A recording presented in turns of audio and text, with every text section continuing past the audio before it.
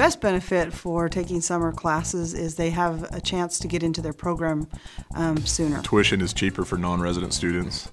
Parking is more accessible. It's a little bit more relaxed here at UVU during the summer, and I think that that's so good for some students. If they're really looking for that individualized experience with a faculty member, summer is a great time to get in and really meet with someone. I'd say the biggest benefit is that they get smaller class sizes. Smaller class sizes. The classes are smaller. We have smaller classes. Wolverine Track is a program that's on UV Link that gives students access to see immediate results of their progress to see how their classes are fitting into their degree requirements, to see what they should be taking next. Summer semesters are better. I, I, have seen the success of my students personally, and I've seen that they like it a lot better. Students need to come to us because we're the, their best friends.